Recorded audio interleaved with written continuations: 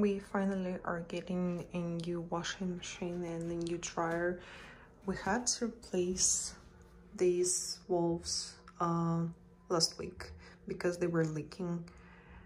Um, the funny part is that actually last week we were supposed to get new machines, but because of the valves and that issue, we had to reschedule the delivery. And today, here at my place is minus 35 or 36 Celsius, so it's extreme cold. Uh, it's gonna be so much fun. Uh, I hope that we'll get our machines today because they've been disconnected for a week already. Um, I already have so much stuff to wash actually because we got a puppy. Um, yeah, hopefully. These machines were from the previous owners. Basically, they were here in this house from from the beginning, um, since this house was built. So they've been already 17 years old. I'm really, really excited to get new machines because these are already terrible. No, dryer actually is not that bad, but the washing machine is terrible. So, yeah.